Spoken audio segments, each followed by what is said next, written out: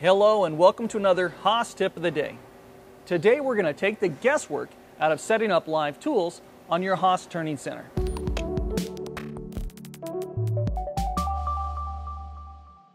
So I'm excited about doing some tips on our live tool lathes. But before we can make those videos, we have to show you how to set up these live tools. If these things aren't set up properly, we're going to struggle with everything else that we do. So let's head over to the assembly area where we've got a naked lathe. We've pulled off the sheet metal so you can get a better view of that live tooling. Well, we've made it back here to our lathe assembly area. We've got a lathe here with the sheet metal removed so we can see our turret better. Now this is a 12 station hybrid turret. That means that it has room for six VDI 40 holders along with six BOT tool holders. Now over here, we've got set up a VB24 turret. This is the kind of turret that you'd find on an SS machine. This one has 12 VDI-40 holders along with 12 BOT holders.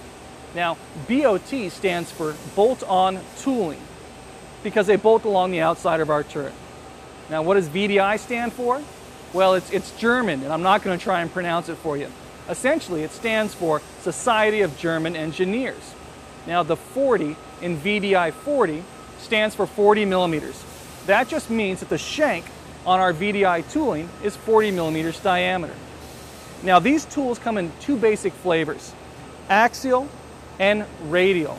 Now, our axial tools are going to drill or tap along the z axis of our lathes, along with the spindle axis.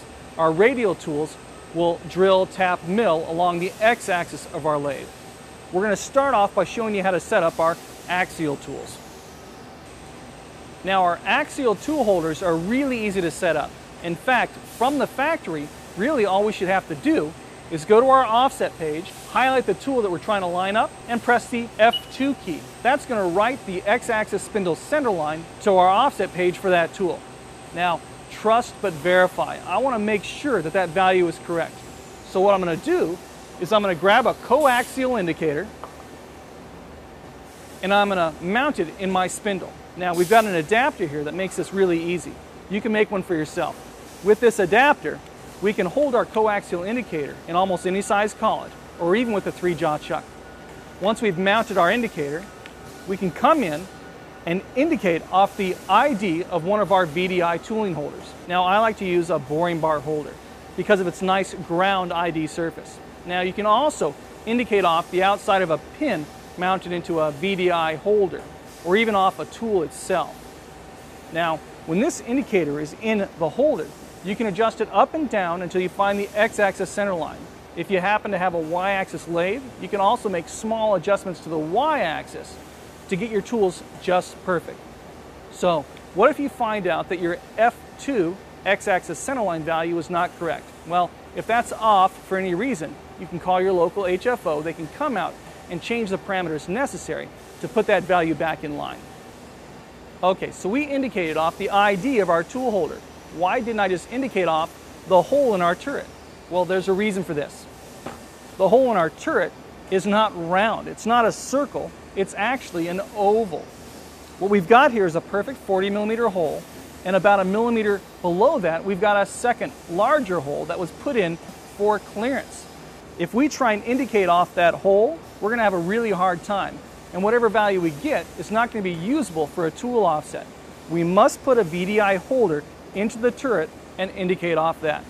Now, when we put that VDI tool into our turret, we're going to be tightening an M10 socket head cap screw, driving a wedge up against the side of our VDI tool holder. This is going to force our tool holder up against that perfect 40 millimeter surface, as well as drive that VDI tool tighter up against the face of our turret, giving us a nice solid hold. Okay, so our axial tool holders are pretty straightforward. Setting up a radial tool holder can be a bit more complicated, but it's really important that we get this right. If our radial holders are off at all, our tool is not going to align with our x-axis. This means our tools could wear out prematurely or even break. This is why on the back of all of our radial tool holders, they've given us some set screws. Now we're going to press a 10 millimeter pin into our turret. Then when we put our radial tools in, we're going to have that pin sticking out that we can drive our set screws up against to adjust the angle on our radial tool holders. Now I'm going to grab my, my pin and some tools here and we're going to go ahead and drive a pin into the turret on our lathe. Now these dowel pins actually come with your live tooling. They're typically about 28 to 30 millimeters long.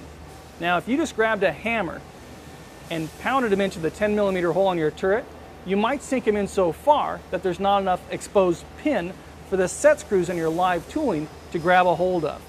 We need 12 millimeters of exposed pin for those set screws to grab a hold of. So what I've done here is grab some round stock and I went ahead and machined in a pocket, a slip fit for this 10 millimeter pin, and I made that pocket 12 millimeters deep. Now we're going to use this as an insert tool to drive this pin into the turret. Now, when we put these pins in, we need to be careful. There's an M6 by 1 threaded hole on one end. This hole is so we can yank the pin out later if we have to. So when you're putting this pin in, make sure the threaded hole is facing you, not facing towards the turret. Got it? Okay, great. I'm going to mount this in my adapter and drive in my pin.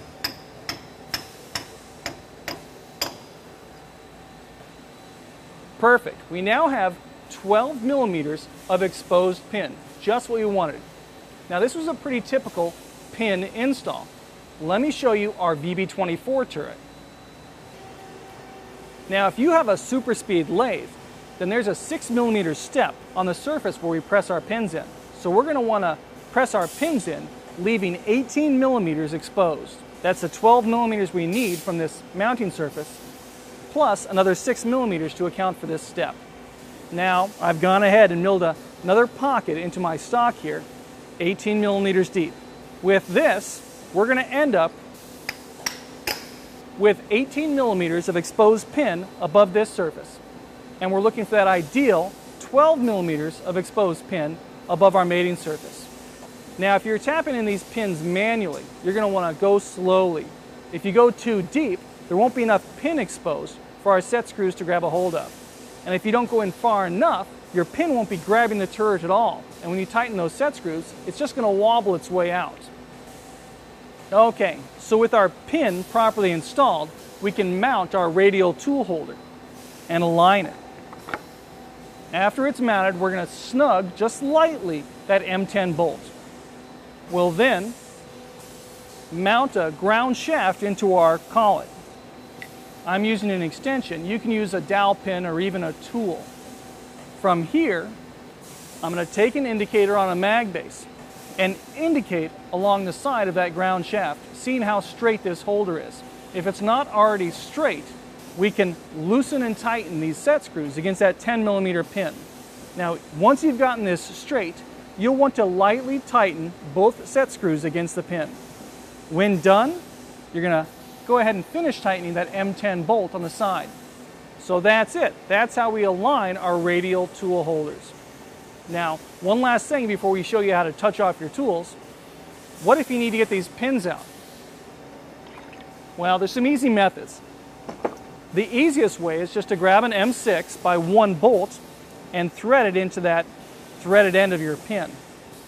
Once that's done, we're going to use an actual pin puller. Now you can find these on the internet for about 65 bucks. All we've got to do is lock it over the head of the bolt and slide. Now if you don't have an actual pin puller, you can just grab a socket, an M6 bolt, and some washers. Place that over the dowel pin, tighten the bolt, and it'll draw the pin right out of the turret. Well, that's it. Let's go back to our machine and start setting some offsets. Well, we've made our tools straight, so now all we've got to do is touch them off. Now, typically for end mills used in live tool holders, we're going to touch them off along their center lines. Now, for an axial tool holder, this is pretty simple. All we've got to do is sweep in the tool holder with an indicator dialed in on the tool, and we've got our X and maybe our XY values. Now for the tip of the tool, we're going to touch that off along the Z-axis, just like you would any other drill. Radial tools can be a little more complicated. We can't reach the center line of that end mill. So what we're going to do is touch off on the tip of the end mill along the x-axis, kind of like a normal turning tool.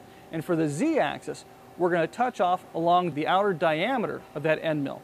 Then we're going to shift our tool offset by the radius. Now, if we've done everything right, I should be able to command my tool to Z0 and have the center line of that end mill line up perfectly with the Z0 face of my part.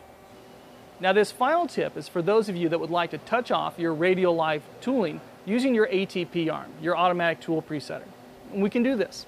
Now, I've already brought my arm down and I've jogged my end mill just above and to the right of my probe tip. Now, I've created a program in memory and it's really got just one real line of code. M134 P800. This is going to start my live tooling with an M134 at 800 RPMs, P800.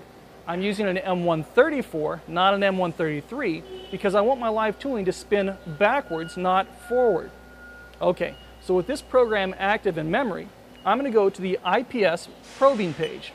I'm going to select manual cycle because I've already jogged my tool above my probe. I'm going to use tool offset 9 because I'm probing tool 9. And here's the important part. I'm going to use tool tip direction 3. Now this is the same cycle we would use for an OD turning tool. It's going to come in from the right and come down in the X, which is going to work just great for our end mill. So I follow the directions on screen, press F4 to record output to a program. Now I just insert this code into my program right after my M134 and we're ready to run. Let me press cycle start and we'll see what it does.